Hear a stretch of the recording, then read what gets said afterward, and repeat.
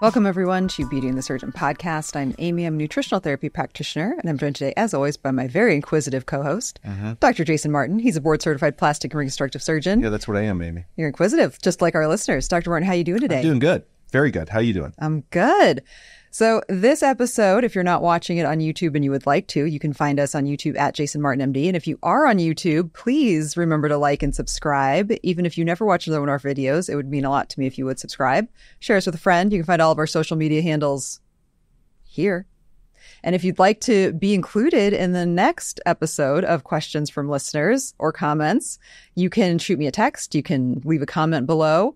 Text us at 303 630 9038 or just leave us a comment. And uh, you could be on the next episode of Beauty and the Surgeon questions from Why are you listeners. throwing shade to voicemails? well, I love the voicemails Okay, you didn't say voicemail. because no one left one this time because I don't have one. Yeah. So you guys really came through. I told Nils, our producer, before I start, you know, after the last questions from listeners, I started just collating the questions that were coming in. And by the time we got ready to record this one, we actually, it is a two parter. So this is part one of two. So if you were waiting for your question to come up and I told you that it, we were going to be answering it, just know that there is a part two. So stay tuned in two weeks. That's when yours will be answered if it's not answered on this episode. I don't think a lot of people leave voicemails. Sometimes I'll just leave voicemails to friends just to be annoying. See, I send video messages to everybody because I like them to see me. So without further ado, let's get into our first question from listeners. Let's go. So this is from episode 37. We I were mean, the is that guy? Machine. Who is that guy? This was from our episode 37, Tummy Tucks, Nils, is this me? from oh my god. Bright Viz Vibe, Bright Vibes. Bright vibes. Bright Vibes Yeah. wrote, I like you guys. Just what I have been looking for. Thank you. Thank thank you, Bright Vibes. And these were her emojis, which I really love. She used the bikini emoji. What do you guys think of people who have health issues having surgery?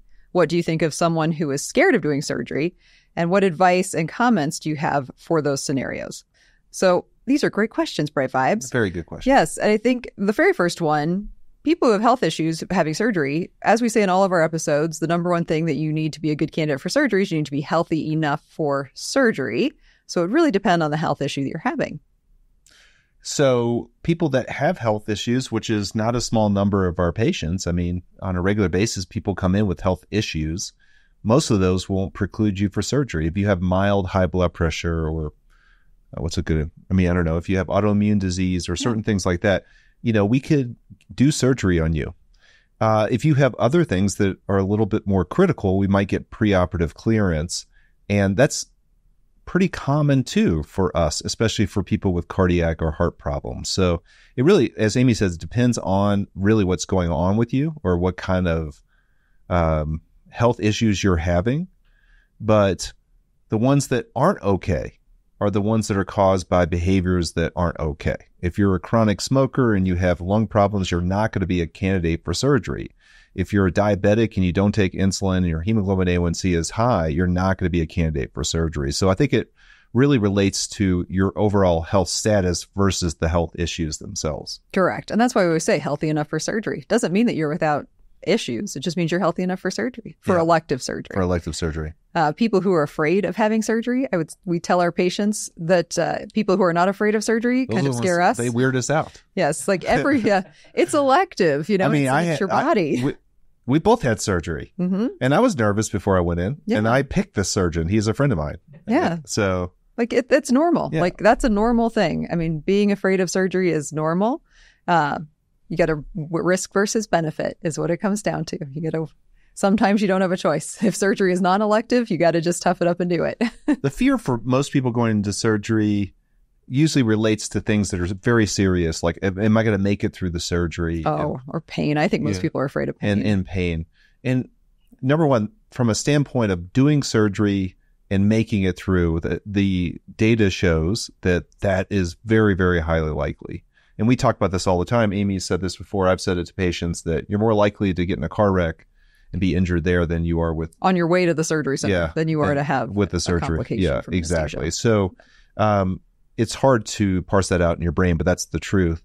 Um, and in terms of pain, it really is spe- specific to the surgery itself. Do we have an episode on pain and surgery and what to expect? Don't we have one? We talk about it in all of our episodes, uh, you know, about pain management. But the other thing that I think people get nervous about, let's say nervous, not scared, uh, is the outcome, right?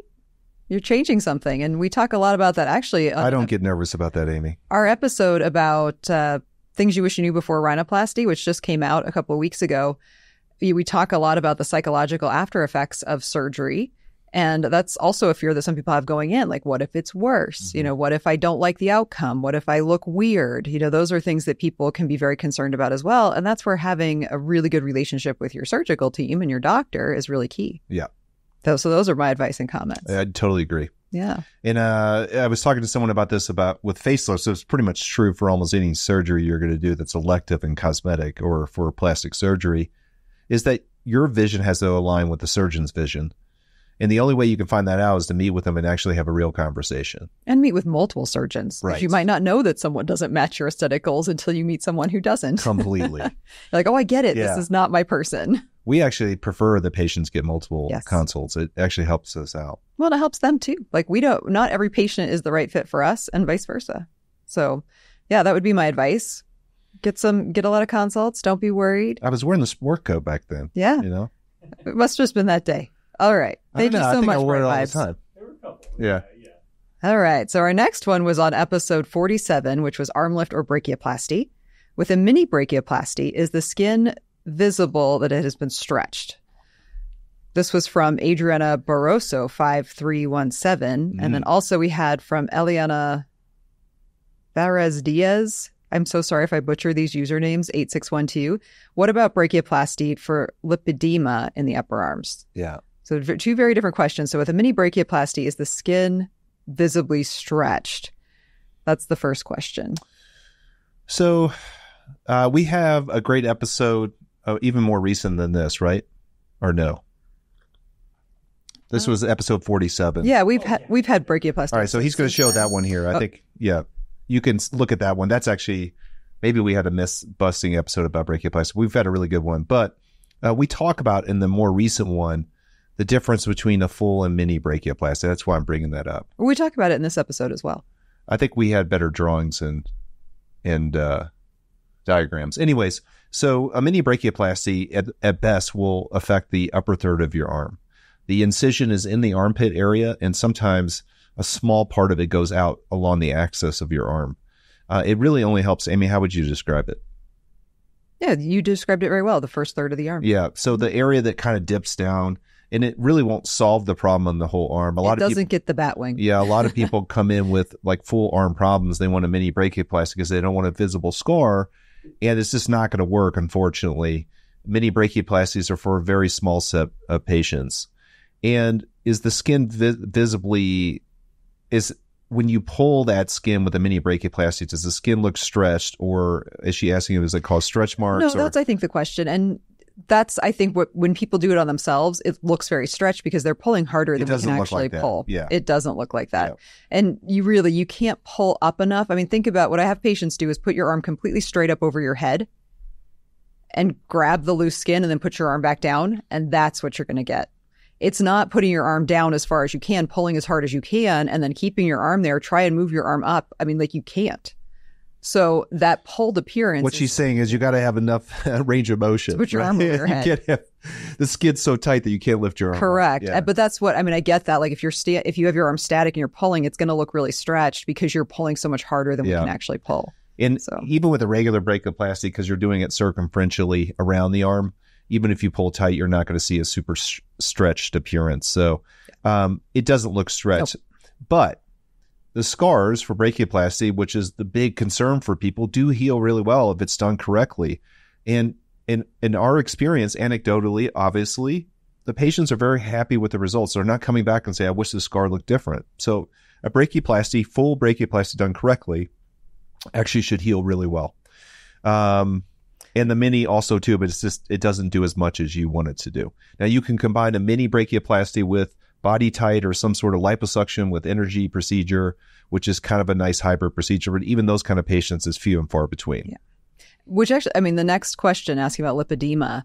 Uh, lipedema is a process where the body is essentially kind of adding excess like lipotic cells, the fat cells in an area uh, very unusually. So it's a very unusual fat distribution.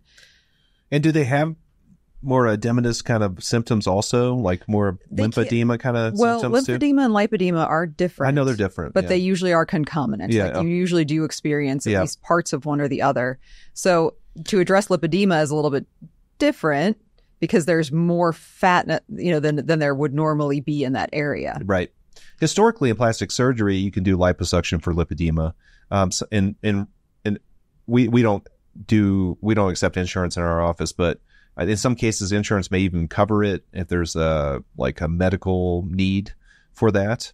Um, but in reality, removal of the skin and soft tissue, which is the fat, probably would have a better result. Yes, like But- actual removal versus Yeah. liposuction But alone. then you're affecting the lymphatic drainage. So if you also have lymphedema there, um, you're going to confound the problem. Actually, it could make it worse. it could make it worse. So this is actually a really interesting Mhm. question. It's kind of tricky. I feel like this is a board examiner. I know, right? I mean, but there's, it really depends on your fat distribution and your previous medical history, what the best course of action is going to be. And I would say that yes, is it a, is it a possibility? Absolutely. But you definitely would need to go to somebody who has some experience treating this Yeah. condition and so that you don't end up making it worse, especially in the arms. You know, you don't want to destroy or, or limit the ability for the lymphatic system to drain appropriately. I mean, you see this, Dr. Martin, in patients when they used to have really radical Mhm. lymph removal with breast cancer. Oh yeah, And they would have terrible like compartment syndrome and lymphedema. yeah. and- Lymphedema is really Yeah. problematic.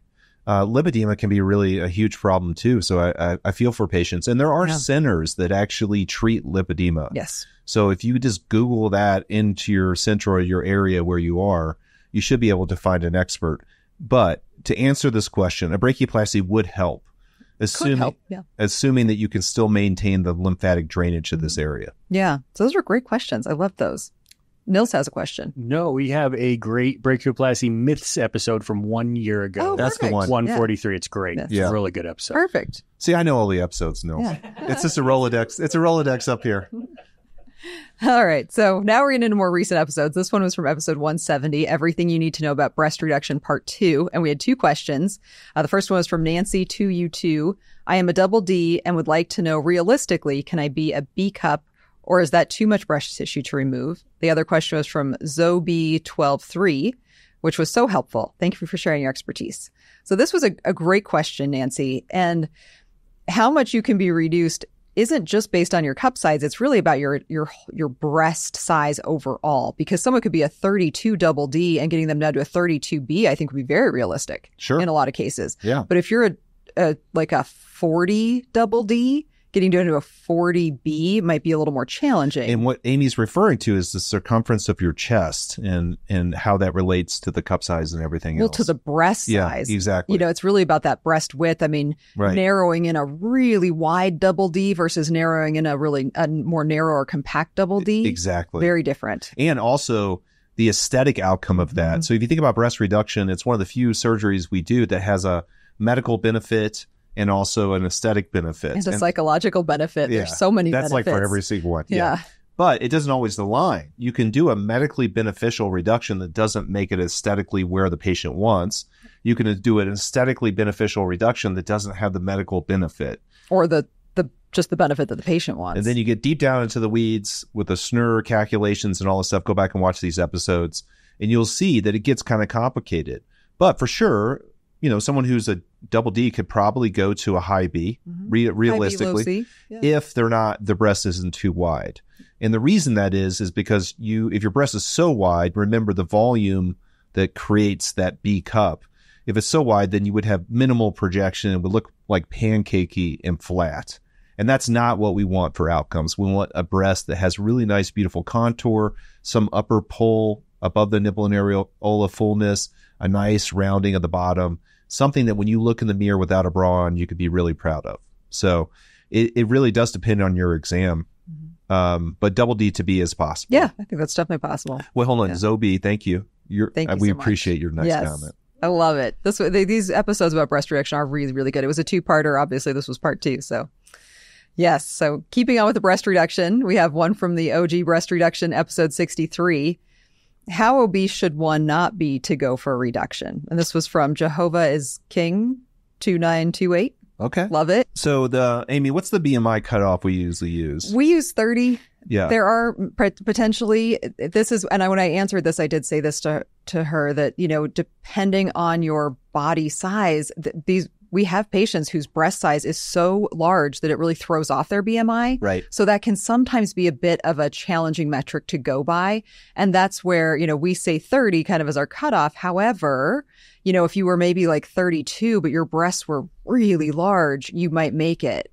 And that's where BMI is not a great marker, but it's one we have to use. So And it's what we use in healthcare, Yeah. both on the insurance side and the cosmetic side. So, Amy, if someone wanted to calculate their BMI, what, what would they do? There's Google Yep, BMI. BMI calculator? calculator. Okay. You put your height and weight in, and it tells you, you know, height, weight, and uh, gender, and it's going to tell you what your BMI is. And BMI is a, is again, there's flaws there, but unfortunately, especially with something with a, like a breast reduction, if you are trying to go through insurance, they are going to want your BMI, and that could be a reason that they decline it.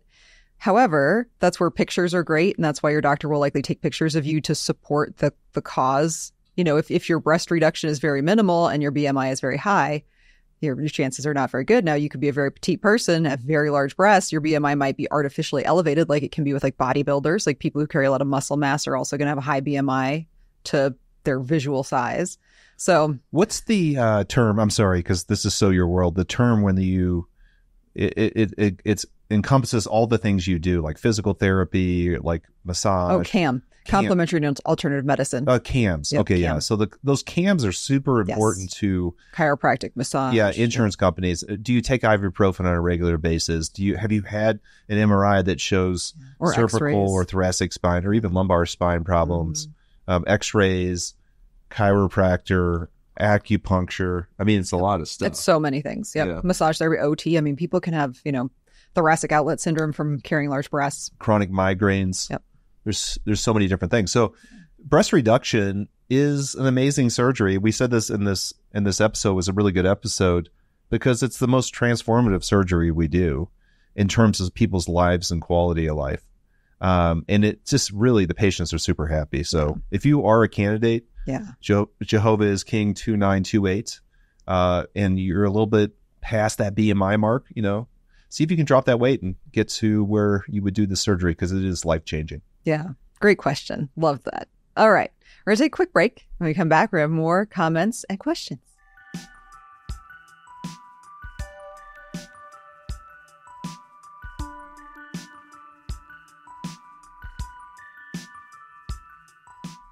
And we're back.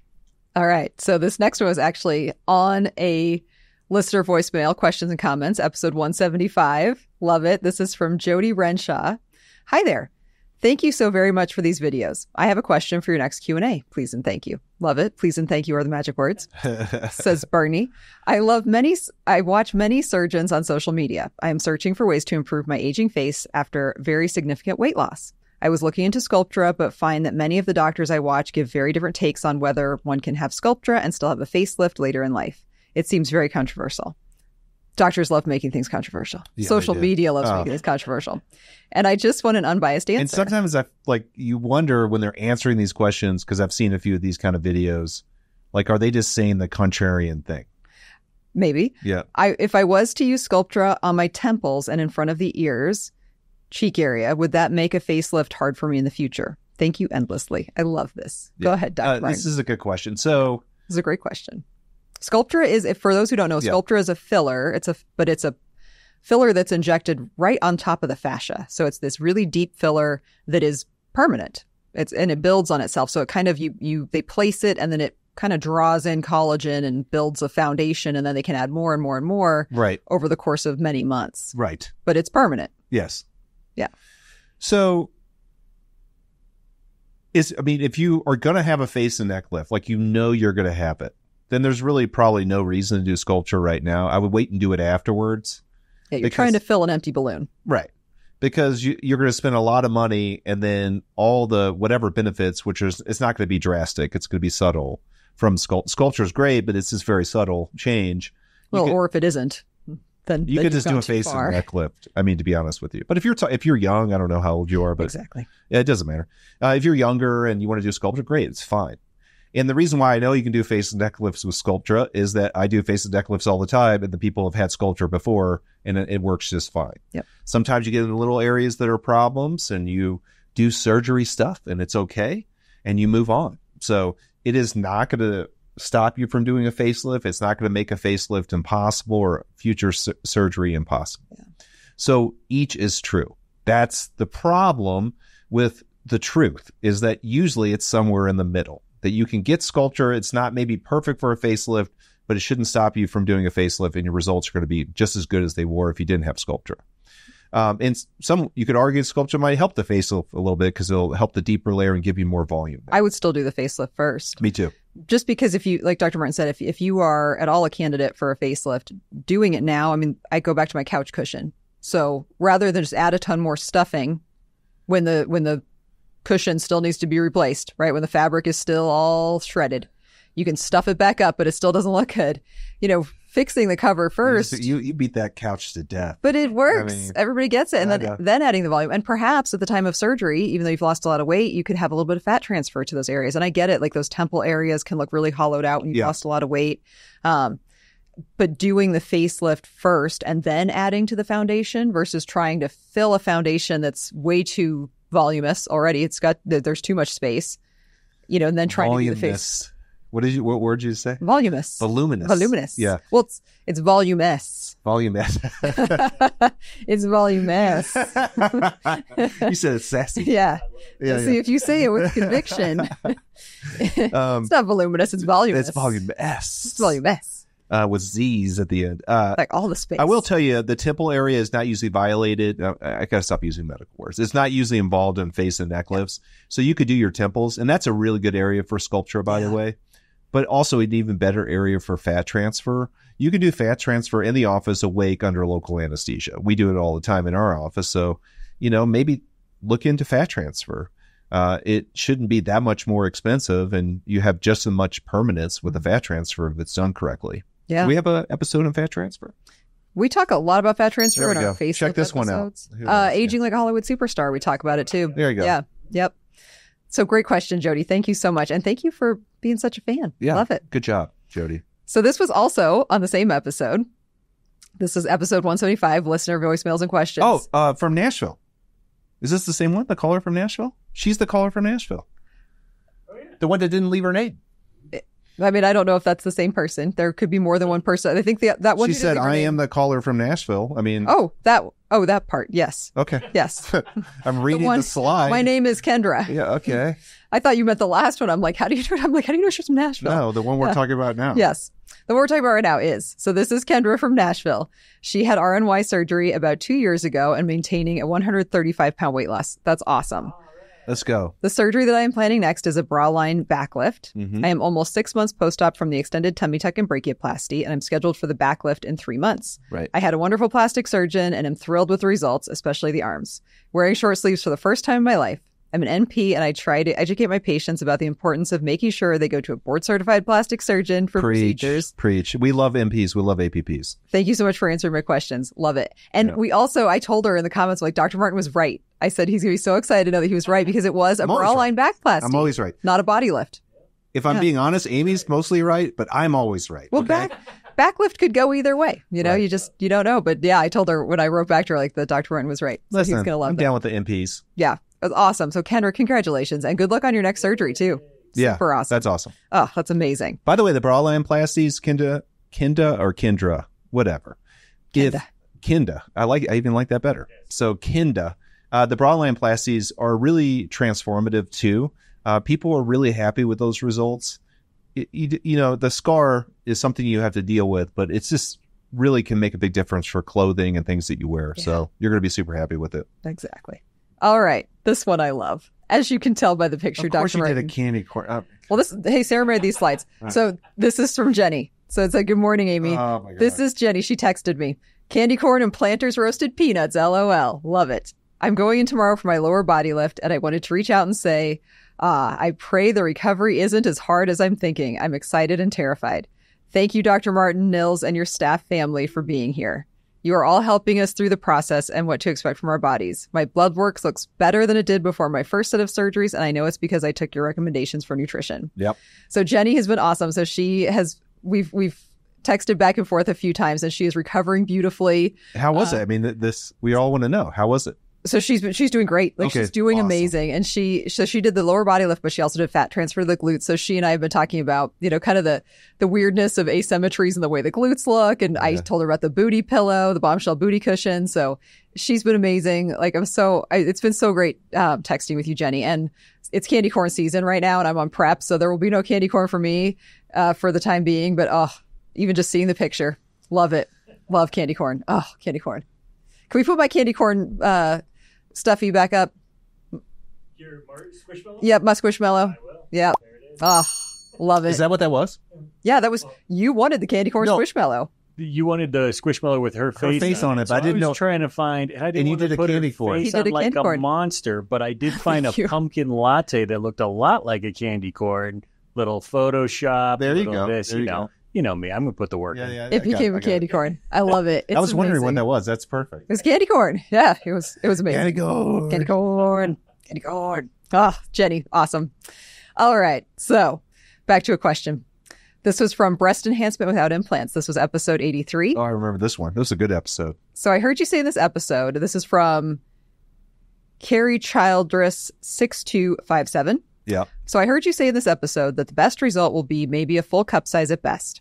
At my heaviest, I was 265 with a small C full B. Now I'm down to 140. That is amazing. Yeah, that's pretty Lost awesome. 125 pounds. Yeah. Wow.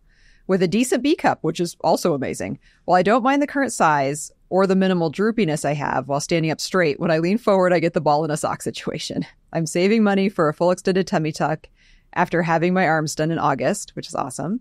Would adding a lift and a fat transfer to my breast be a good option for me if I just want to maintain a full B or C? My fear would be getting a lift and ending up with an A cup. Thank you for your time and love the show. Yeah. Really good question, Yes. actually.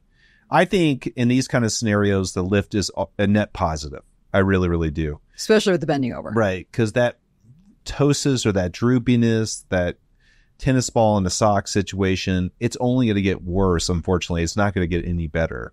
You're, you're already at 140. It's an absolute miracle. I mean, kudos to you. Congratulations. So Once those Cooper, Cooper's ligaments have been stretched, they've been stretched. they're stretched. not going back. Nope. Yeah.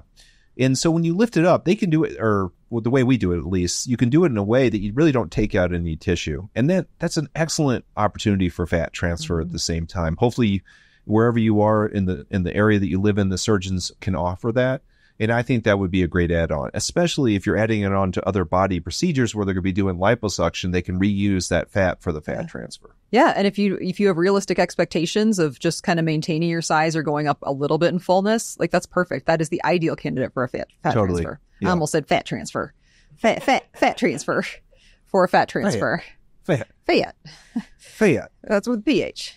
So yes, Carrie, I think you are probably an awesome candidate for a lift with a fat transfer. And like Dr. Warren said, it's not a reduction. You can do a lift without reducing the size, especially a full cup size would be a pretty drastic reduction. So when I do lifts, just so you can put this in your mind, I only take out skin, like Mhm. none of the soft tissue, none of the fat, nothing else. So just rotate it up. Yeah, and just rotate everything around. Mhm. It's really kind of an interesting surgery. Yeah, we have a great uh, our episodes on mastopexy.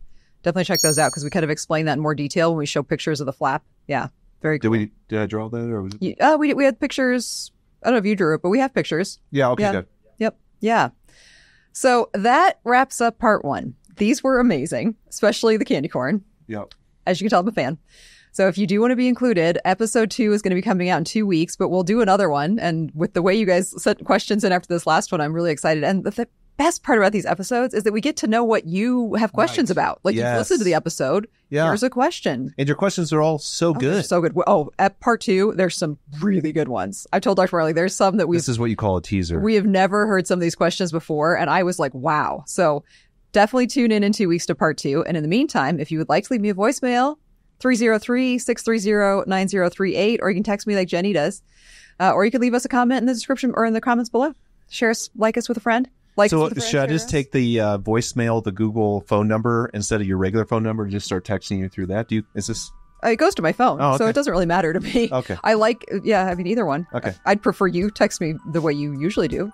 Okay. Because, yeah, just cuz. All right. Well, thank you all so much for being here. And we will see you here for part two in two weeks. Come join us.